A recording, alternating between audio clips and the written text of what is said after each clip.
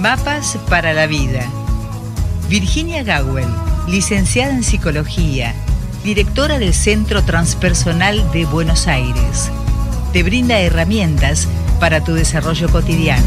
Y ahora sí volvemos a tomar contacto como, eh, como ocurría habitualmente el día martes con la licenciada en psicología Virginia Gawel, directora del Centro Transpersonal de Buenos Aires. Yo tratando de acomodar antes de darle eh, la bienvenida, mm, acá los, los este, aparatos como para que no tengamos acoples indeseados.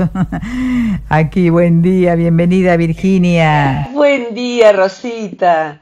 Eh, ella, es, ella hace todo, ella es, la locutora y hace toda la, parte operadora, es como una mujer maravilla, mi querida Ros. Bueno, más o menos. Mira, hay muchas mujeres maravillas que uno por ahí no, no ha tenido en cuenta y, que, realmente deberíamos este, darles un, un papel eh, fundamental en algún momento, ¿no? seguro que sí. De alguna manera casi toda mujer es mujer maravilla. Eh, existe eso, está. Hoy mi garganta parece de a ratos garganta con arena, así que soy como una mezcla de Cacho Castaña con la gata Varela eh, los que no saben quiénes son, googleen, son dos cantantes. bueno. Así que bueno, disculpen si la voz no es la misma de siempre, pero estoy en eso. Así que de ratitos voy a tomar sorbitos de agua. Sí, sí, sí. Eso es lo que van a escuchar. Perfecto, eh, perfecto. Bueno, estoy aquí, eh, como siempre, igual de contenta de estar con vos y con todos nuestros escuchantes. A veces puede, puede ocurrir que lo que nos esté jugando una mala pasada sean las emociones, ¿no? A veces sí, a veces sí. En este caso es algo bien físico que estoy resolviendo, nada grave, así que bueno, de a ratos en la mañana la voz está así. Pero creo que vamos a, a, medida que el día transcurra, está mejor. Me alegro mucho. Eh, y aquí estamos. Con un lindo, lindo tema. Sí, pero antes que nada, me gustaría, si vos me lo permitiste, te robo un minutito, contarle a, a la audiencia que ya tengo en mis manos este ansiado sueño, eh, eh, yo diría sueño y voy a utilizar una redundancia, largamente soñado, mm. para lo cual has eh, dejado parte de tu vida que se llama El fin del auto-odio, Virginia Gawel, cuyo prólogo ha sido escrito por Pedro Aznar y esto prontamente podrá llegar a las manos de aquel que lo solicite. Es, una, es un bellísimo trabajo, un bello libro.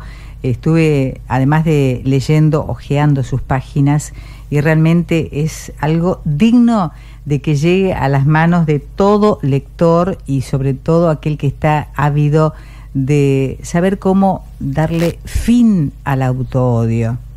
Gracias, Rosita, por mencionarlo. Sí, este fin, fin de semana, estamos, el, hoy es 9 de febrero del 2021, en este fin de semana estuvo llegando a distintas ciudades de toda la Argentina eh, y hay alumnos que me mandan las fotos de vidrieras de distintas librerías de distintos lugares de Argentina, aunque también va hacia el resto del mundo y ingresando a la, a la web de editorial El Ateneo, ahí se ve cómo, dónde está y cómo, cómo acceder en formato digital o papel. Bien. Eh, la verdad es que es una es una cosa muy rara un libro. Siempre para mí un libro es como un animal, como, adoptar un animal, algo que hay que cuidar, algo que, que, despierta amor. Y este libro en particular, eh, la editorial y, en, lo posible yo también, le hemos puesto tanta belleza en la tapa, en el interior, en los colores de las tintas.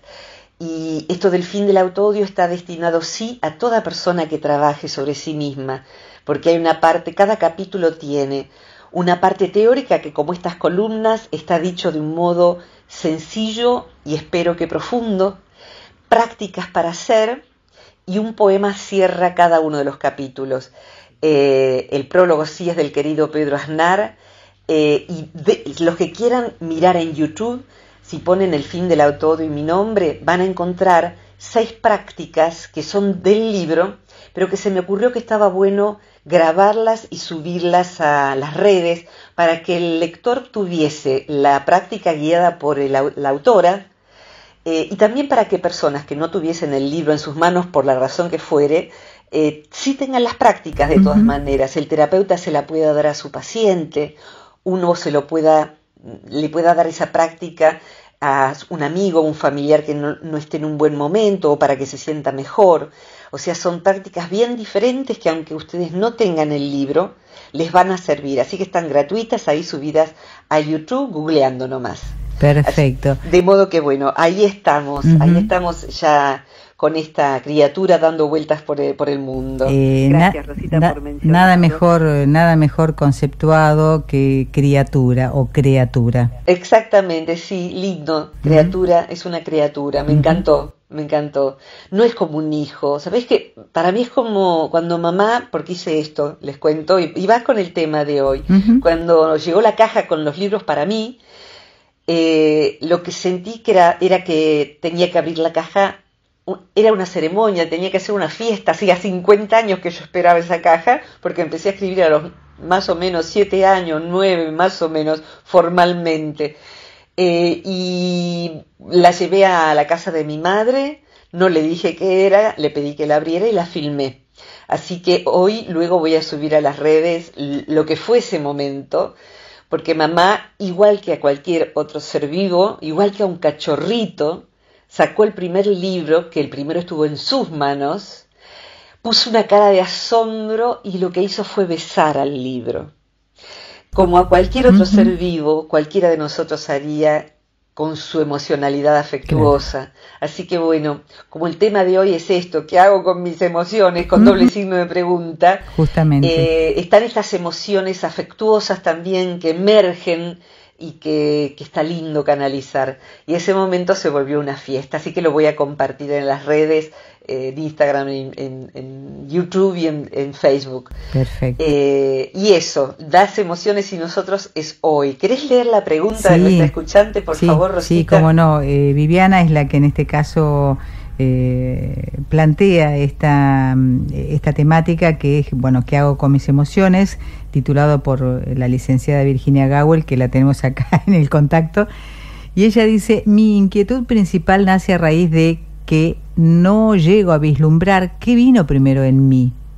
La autoexigencia para controlar y reprimir mis emociones o mis emociones reprimidas perfeccionaron mi autoexigencia y me estanqué como en el pensamiento de ¿qué vino primero, el huevo o la gallina?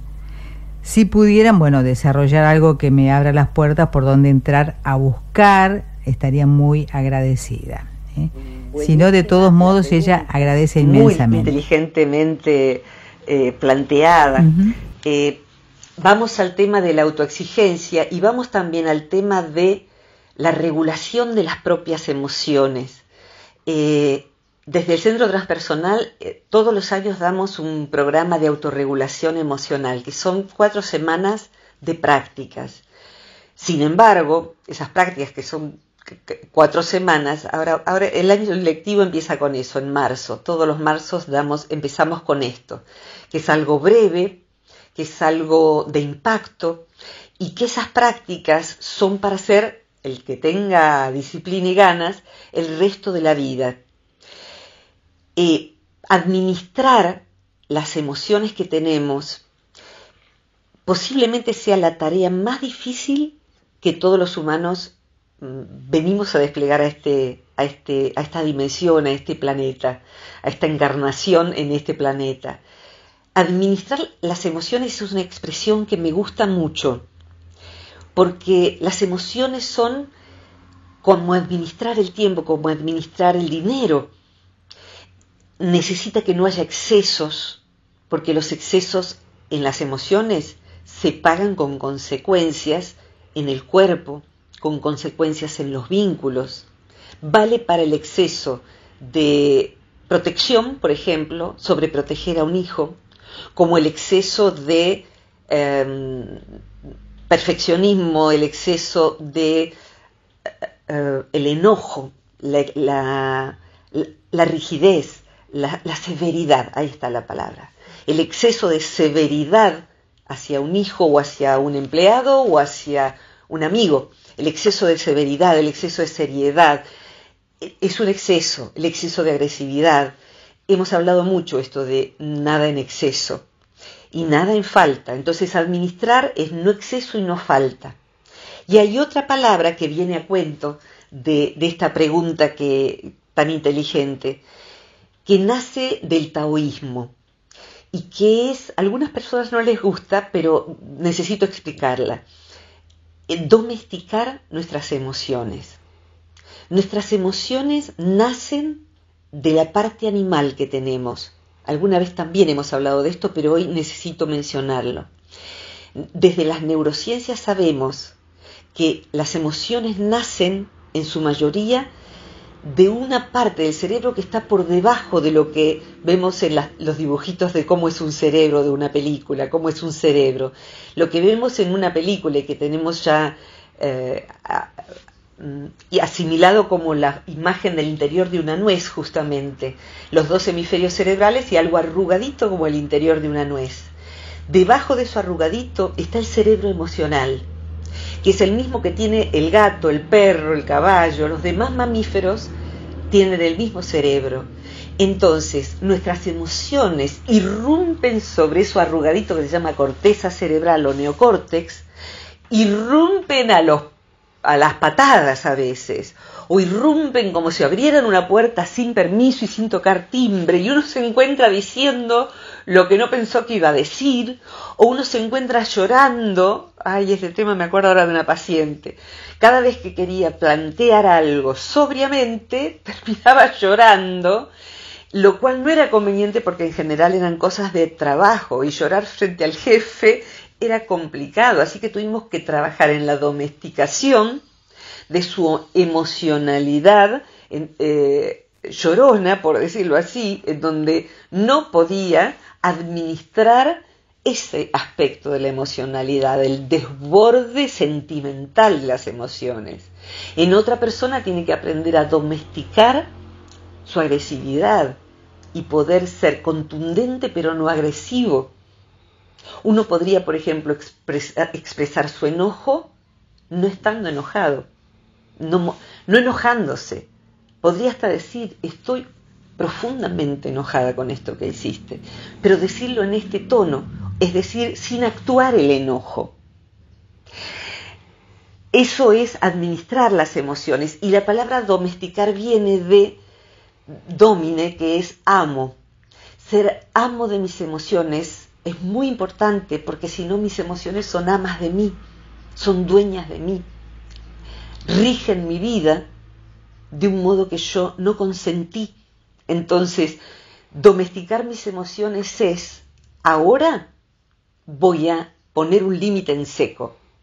Ahora tengo permiso para abrir mi vulnerabilidad y llorar. Ahora lo conveniente es que yo retenga el enojo que tengo porque no es conveniente con esta persona enojarme. Primero, ah, podría ser una persona peligrosa y no me conviene enojarme. O podría, un vecino peligroso que uno tenga, por ejemplo, un, vecino que uno tenga con adicciones y que es violento. No me conviene enojarme. Entonces, eh, o podría ser cualquier otra de las emociones.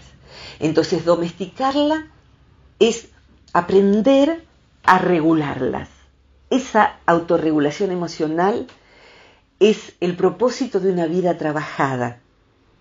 Y cuando uno aprende cómo es esta vuelta de regular las propias emociones, va cambiando cómo uno se relaciona consigo mismo, por eso el tema del autoodio. El autoodio es algo que todos los occidentales tenemos, es un síndrome. Ya lo hablaremos por ahí si querés el, martes que viene, el síndrome de autoodio. Eh, tenemos un franco disgusto hacia nosotros mismos. Y ahora, eh, y bueno, eh, dentro de eso, operamos mal en la administración de las propias emociones porque lo aprendimos mal. Y ahí viene la pregunta de, ay, perdón, se me fue el nombre, de nuestra, escucha, ¿cómo, perdón? Viviana se llama. Viviana. La pregunta divina de Viviana. Gracias Viviana, porque es una preciosa pregunta. Eh, voy al tema de la autoexigencia y después te pido ayuda, Rosita. Sí. Las personas que se autoexigen, primero las categorizaría en dos. Me parece, por lo que dice y por cómo se expresa Viviana, que pertenecen más a la segunda categoría. La primera categoría respondería, y podría haber una mezcla de ambas, ¿eh? Entonces cada vez que uno marca categorías se sabe que posiblemente haya una mezcla.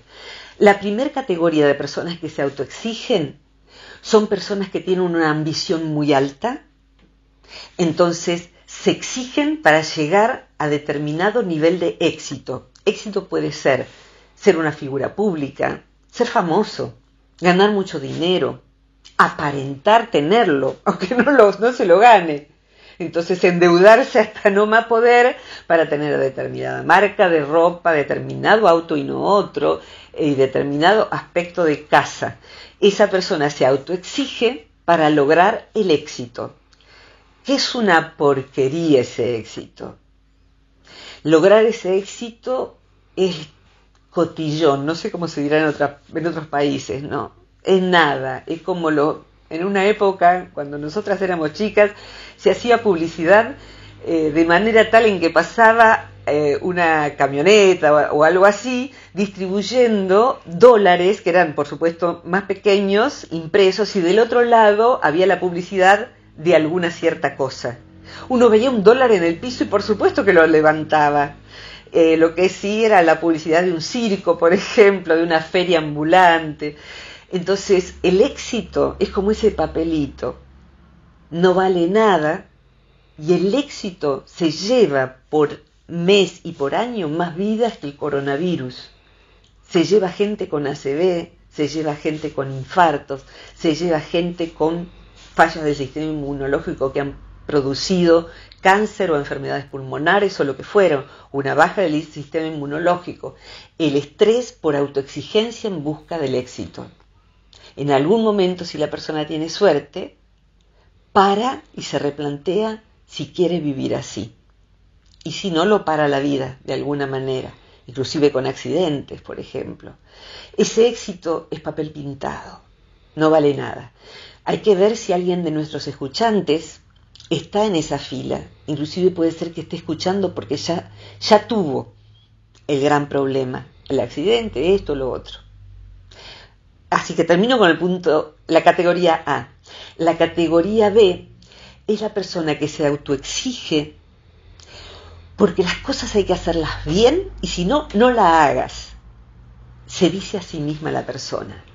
Hacelo bien, Viviana, porque sos capaz de eso. Esto que hiciste no está a tu altura, de ninguna manera.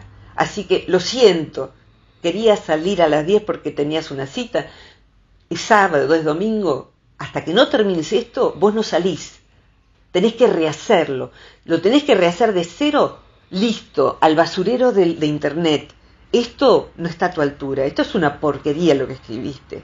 Es más, parece esto lo encuentro barato, le pido a la vecina que lo haga y lo va a hacer mucho mejor que vos. Hacelo de nuevo, con este tono. La autoexigencia de esta persona es porque tiene adentro un crítico muy severo. ¿Y qué nació primero? Digamos que quien se engancha así tiene tela para eso. O sea, nacimos, Viviana, con, una predisposición a que ese tipo de autoexigencia esté instalada. Es como un programa instalado ya en el, por default, en el bebé que nace, ya tiene instalado el programa si querés genéticamente, eh, investigando la astrología seria, astrológicamente, eh, la seria, eh, no la, de los horóscopos, la que estudiaba Carl Jung y muchos sabios de, de, distintos tiempos. Uno viene ya con la carta natal escrachada, uno nació con una predisposición a autoexigirse, a buscar excelencia, y desde esa predisposición la crianza y el sistema hacen lo suyo. Entonces, contamos con un papá una mamá que le llevamos feliz, que nos hemos sacado un 9 y con cara de, eh, imaginen el rictus hacia abajo, decir, y mira, vos estarías como para un 10, ¿por qué no un 10? ¿Por qué un 9? ¿Qué pasó? ¿Qué pasó, Viviana? ¿Qué, ¿Qué, estuviste haciendo? ¿Viste que yo te dije? La nada de televisión, nada de te voy a sacar el iPad, el, celular, no. Entonces, sobre el programa se asienta el condicionamiento. Pero a lo mejor Viviana o cualquier otra persona que en este momento se sienta emocionalmente afectada por el tono en el que hablé y por lo que estoy diciendo, le dice al papá, papá, no me jodas, saqué un 9 y estudié un montón y estudié y yo soy inteligente. Para mí con un 7 hubiera sido suficiente. Así que si a vos el 9 no te alcanza, lo siento. Así que yo ahora me voy a... Tengo un partido con mis amigos, yo me voy. O sea que uno tiene un hermano al que el papá le dice lo mismo y le importa lo más mínimo le importa la nada y el tipo se fue a jugar y durante todo el fin de semana jugó, leyó un poquito y encima se sacó un 750 o un 9 igual que yo, que me rompí el lomo todo el fin de semana. O sea que mi hermano vino, no mi hermano real, el hermano de ficción, viene con un programa donde la, la exigencia del papá, el programa de la carta natal, el programa de su genética, no viene para esa autoexigencia. O sea que da hasta donde da, pero no se pierde de disfrutar, no se pierde de salir, no se, pierde, no se, no se mata tratando de cumplir. Entonces, redondeando, se trae una disposición a darle más autoexigencia al propio sistema o menos autoexigencia.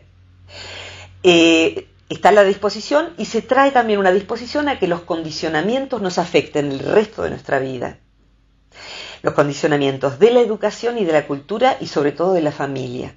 La buena noticia es que si estamos en la segunda categoría de esta, de esta autoexigencia fatal por, en pos de la, de la excelencia, podemos aprender a regularla. Podemos aprender a no ser de esa manera feroz con nosotros mismos, a no tener dentro nuestro algo más parecido, no sé, al espantoso capanga es decir, el amo de los esclavos, que insatisfecho alecciona atándole las muñecas al esclavo y dándole con un látigo, no solo para ese esclavo, sino para que todos los demás rindan el doble, porque si no a cualquiera de ustedes le va a pasar esto. Tenemos adentro nuestro, cuando somos muy autoexigentes, esa figura. Ya no es ni un autocrítico, somos sus esclavos. Y eso se puede deconstruir, se puede desinstalar la aplicación. Se puede desinstalar la aplicación que consume tanta energía y tanta memoria en nuestro sistema interno, autorregulando esa autoexigencia y todas las emociones ligadas a ella. Paro y respiro y me tomo un sorbito de agua. Se me mejoró la voz, ¿viste? Sí, pero siempre pasa eso. Es, es tu parte que necesita entrenamiento. Sí, entro en calor, es la pasión. Exacto. Rosinta, ¿me ayudas un poquito para la segunda parte? Mira, espero no complicarte la existencia, mm. porque yo quedé enganchada en la columna anterior con la psicogenealogía. Sí. Entonces de esto me, me surge eh, esta pregunta, esta inquietud que qué pasa cuando uno no transparenta su emocionalidad, tapándola con, con, diferentes argumentos, discursos o lo que fuera. O sea, no dejas que el otro hable, hablas y hablas, hablas constantemente. Es decir, cuando vos no desnudas el alma. ¿Y qué pasa cuando tu reacción emocional eh, genera violencia? A ver, eh, transparentar es que el otro sepa que yo estoy en este estado. No, cuando vos no transparentas tu alma, cuando no dejas...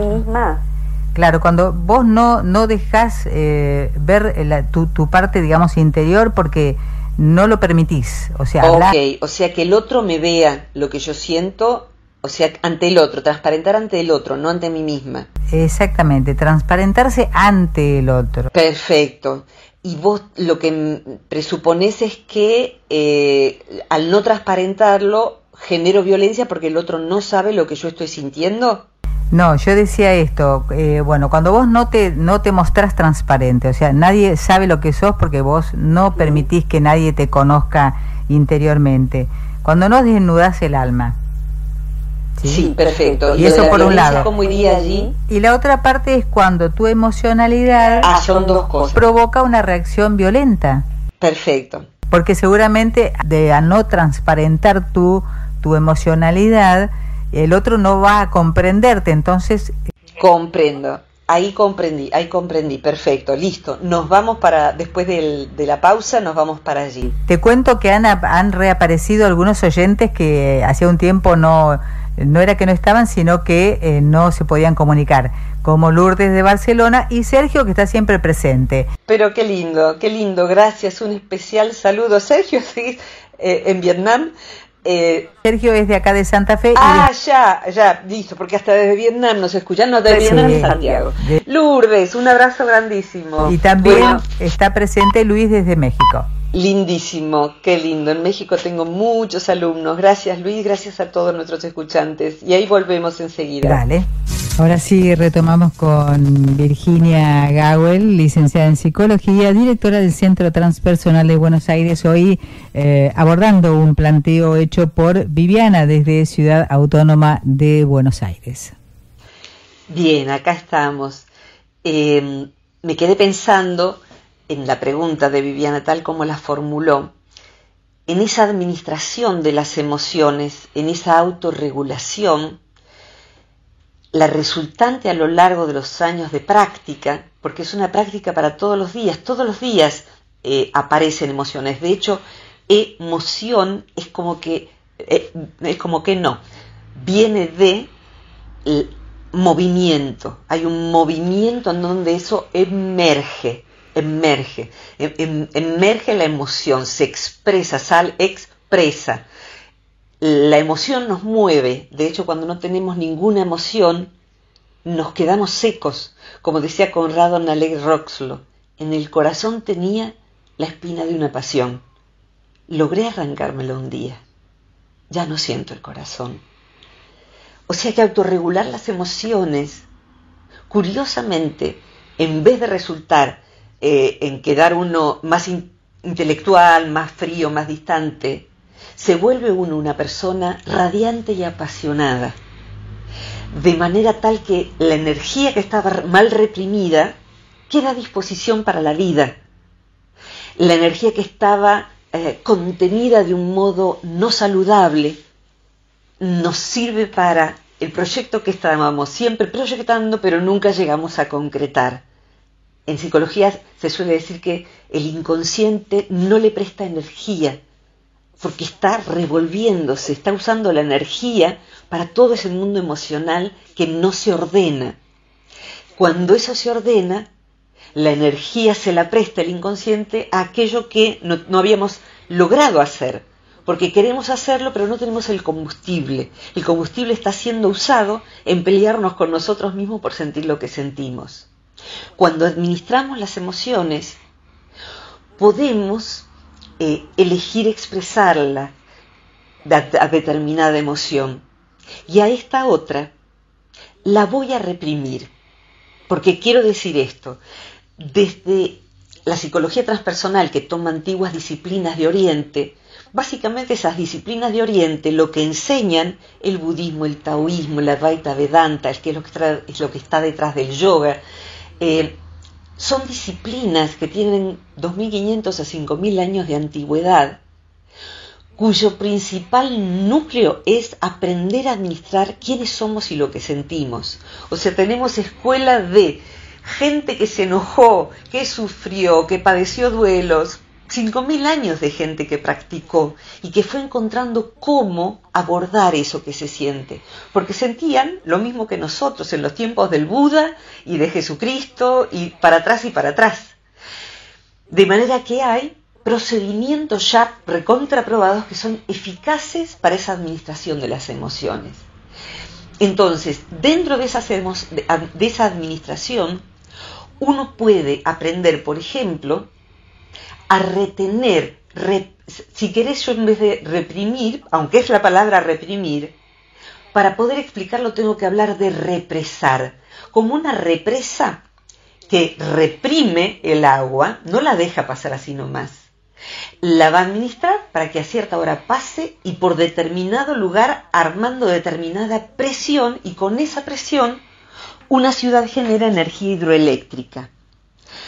Con las emociones es igual, las represamos y con ese represamiento, que en realidad es una represión inteligente, voy a poder generar una determinada conducta. Por ejemplo, supongamos a alguien que estuviera enojada en pareja con una persona violenta.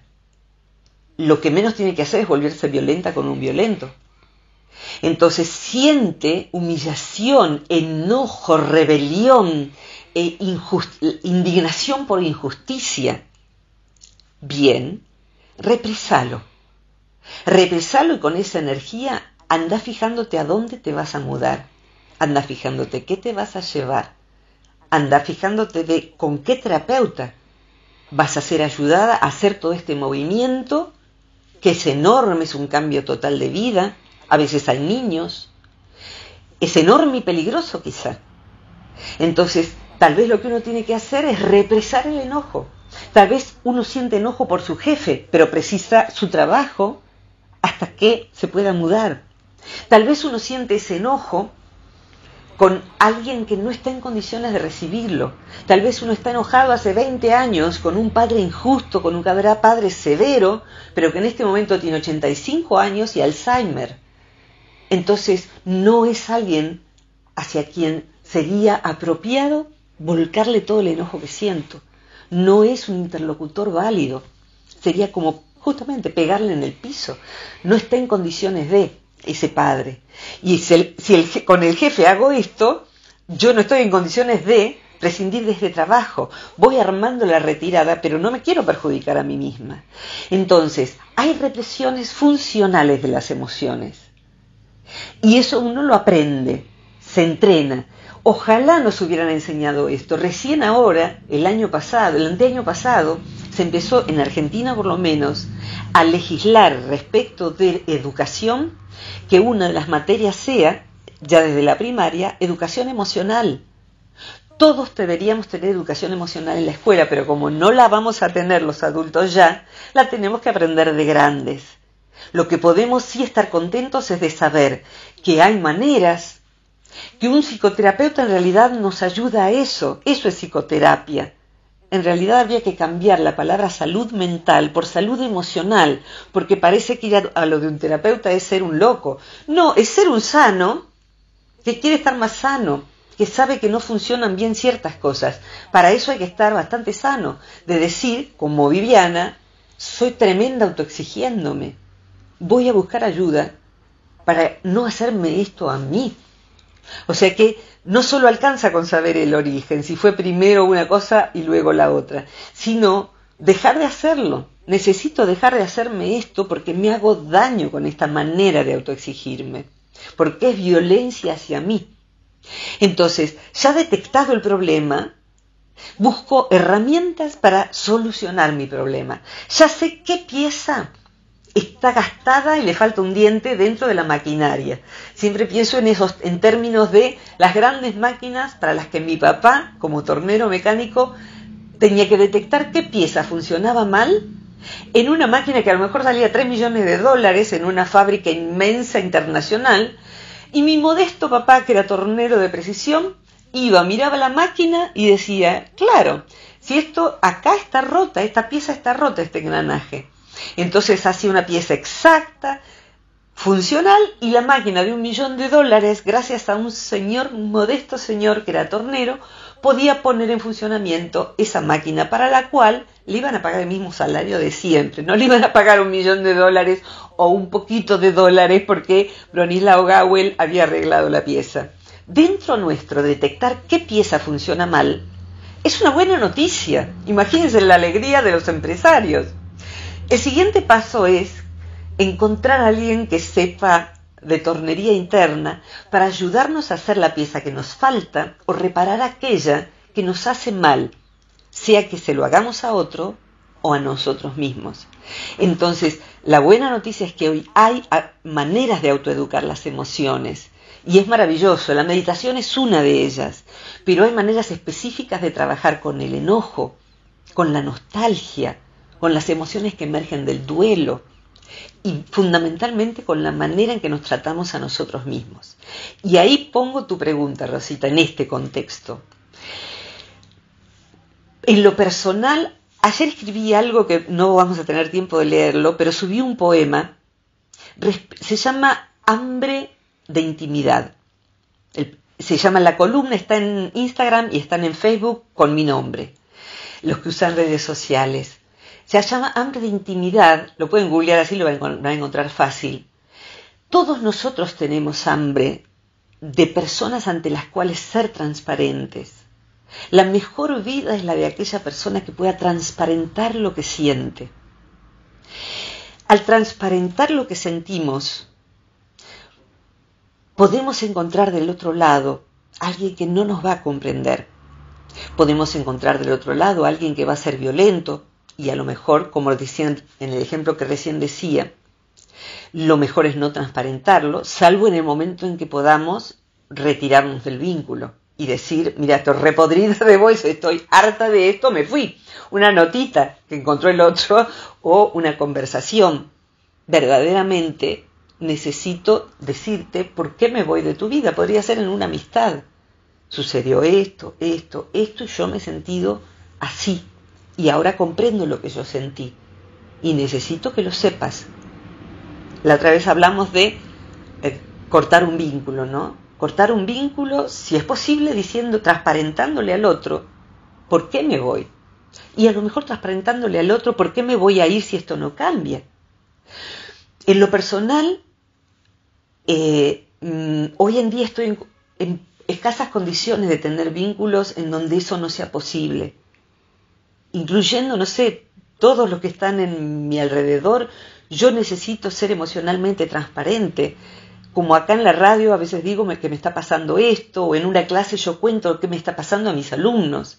Entonces, la transparencia es la mejor condición porque es la que permite intimidad.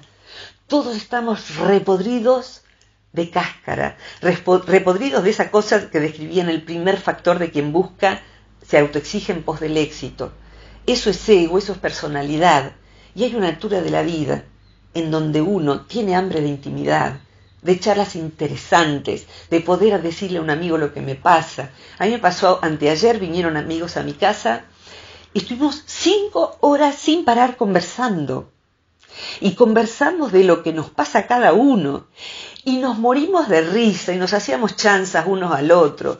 Entonces, Intimidad no quiere decir ser serios y ponernos a llorar, puede ser muy risueño y de ratos nos emocionamos y de ratos eso, tener vínculos con quien pueda ser viable esa manera de conversar. Y eso permite que unos a otros nos ayudemos a regular emociones, porque el otro tiene más facilitado algo que yo no. Yo a veces le pregunto a determinado amigo, ¿Qué hacer? ¿Qué harías en mi lugar con esto que me está pasando? Porque ese amigo tiene esa parte más desarrollada que yo. Alguna vez también he hablado de esto. Entonces, transparentar mis emociones es casi siempre la mejor consigna, salvo que esté ante alguien violento. Pero podría ser que en tu pregunta, Rosita, sucediera, y voy a ser breve en esto ya para ir redondeando, que al decir yo lo que me pasa, al otro no le guste lo que a mí me pasa. Se ofende con lo que a mí me pasa, se enoja con lo que a mí me pasa, eh, me retruca con lo que a mí me pasa. Y hay veces en que hasta poner orden en las emociones en un vínculo de mutuo cariño, mutuo aprecio, mutuo amor en una pareja, con un hijo, hay que esperar que el otro dijera lo que le hemos dicho.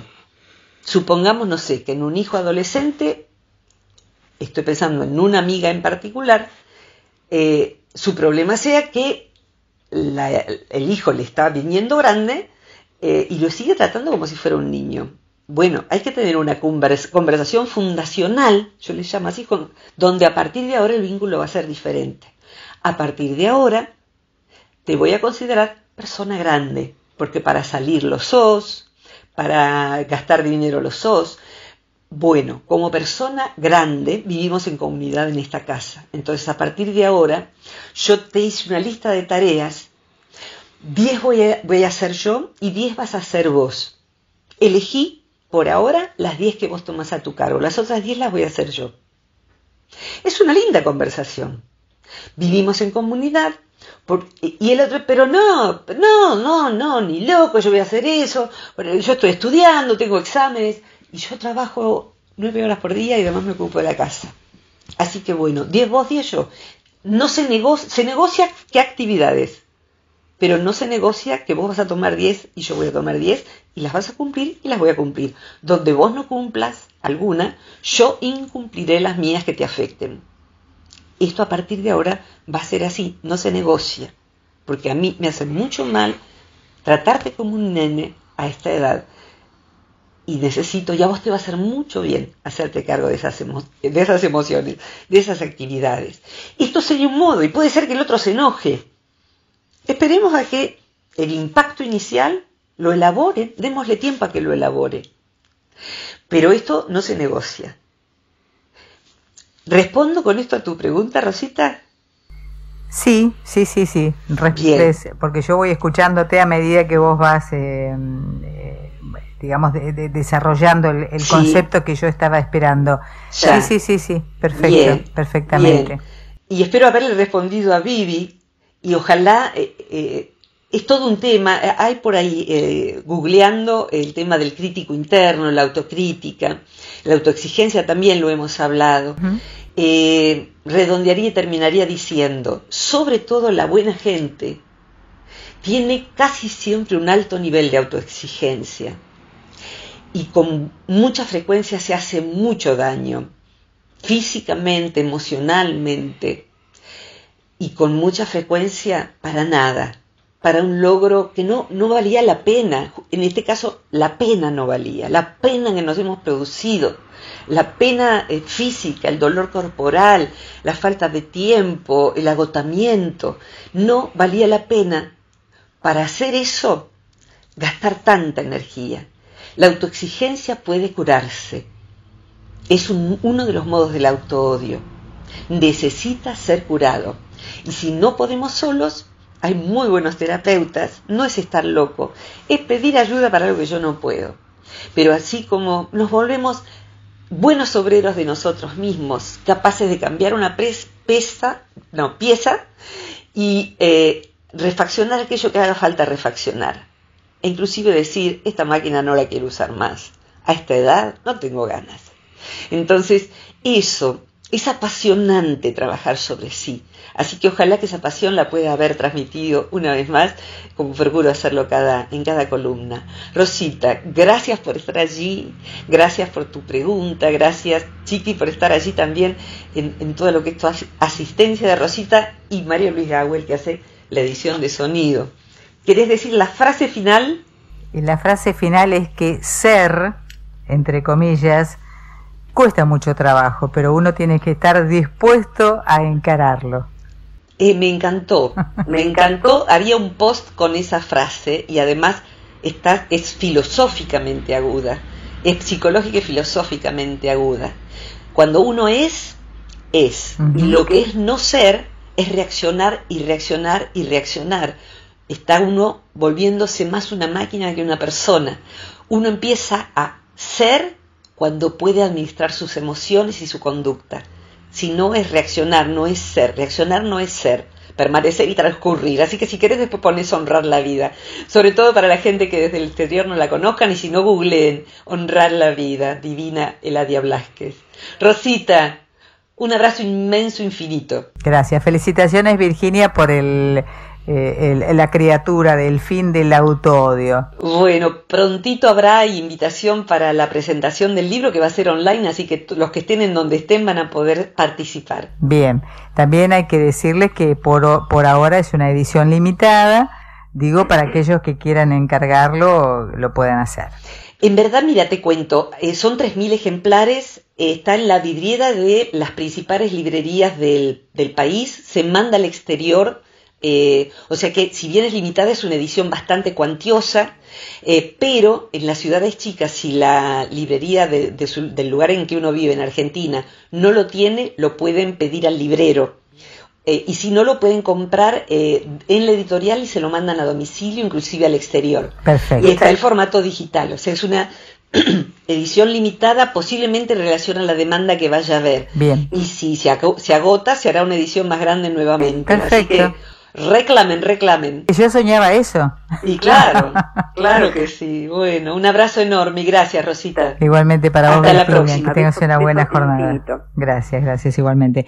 Virginia Gauer, entonces licenciada en psicología, directora del Centro Transpersonal de Buenos Aires, hoy desarrollando un planteo que nos hizo Viviana desde Ciudad Autónoma de Buenos Aires. Y para aquellos que quieran hacer algún que otro planteo, como lo hizo ella, deberán comunicarse al más 549 2323 526497.